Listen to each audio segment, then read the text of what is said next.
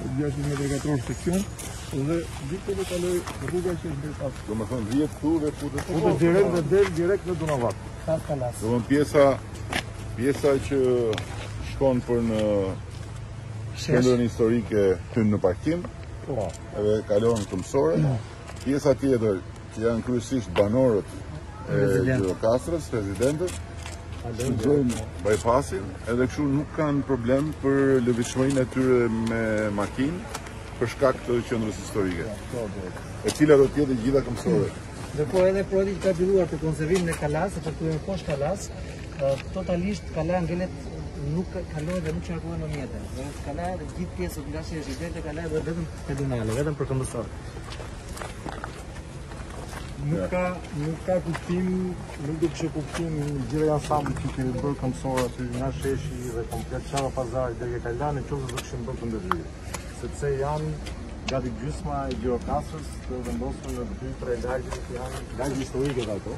Madje, kjo rrugë do zbulojë një Gjirokastër tjetër të harruar, që është pjesa e Dunavatit, ku ka shtëpi po aq karakteristike dhe me vlera historike dhe arkitekturore siç është dhe Palortoja. Ndërkohë, ndërkohë me qeverinë turke kemi bërë marrëveshjen gjatë vizitës në Ankara për një ndërhyrje një ndërhyrje të konsiderueshme në Gjirokastër e Berat në mënyrë që të vazhdojmë me restaurimet, të vazhdojmë me rijetëzimet dhe faktikisht gjithë pjesa e Dunavatit që sot është e fshehur dhe nuk frekuentohet të kthehet në një tjetër Pol brenda Gjirokastrës që të jetë një pol komplementar me polin e Qafës së Pazarit ku të regjistrohen biznese të reja, ku të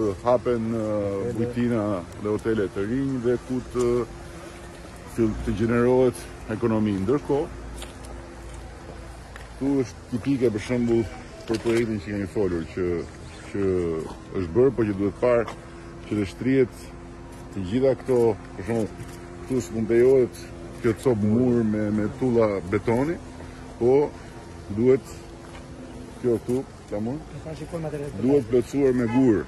Jo, jo lagja, po të thjesht elementët siç janë bërë në të tjera, për shembull ajo shpia atje, duhet prekur në atë murin që është këtej që është me tulla betoni, Ose ajo atje lart me rozë duhet bërë e bardhë.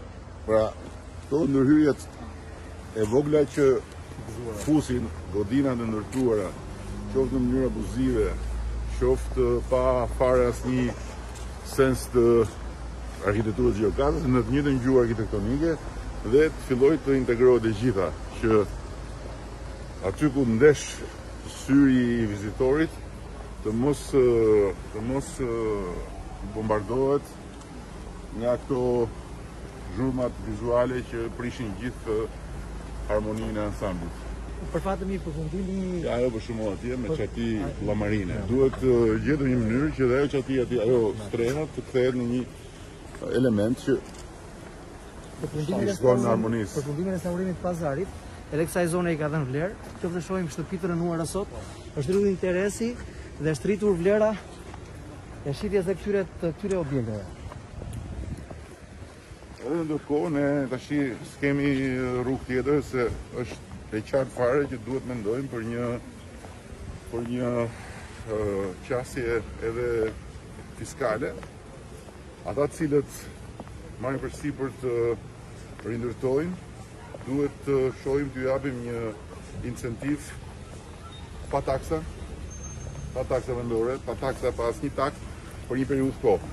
Ata të cilët i mbajnë peng këto shtëpi, duhet t'ju vëmë një taksë që t'i shtyjë që t'i rindërtojnë, t'i lëshojnë, t'i japin me qera, të bëjnë çfarë duan, por nuk mundet dot të marrin peng një pasuri që është e të gjithë kombit, ose është pjesë e thesarit kombit, për ta lënë të rrënohet aty, se s'merren vesh me njëri-tjetrin, 49 pronarë, del njëri thotë s'dua, edhe rrënohet pasuria. Kjo nuk duhet lejuar, edhe kjo praktikë është praktikë e të gjitha vendeve që kanë të tilla pasuri.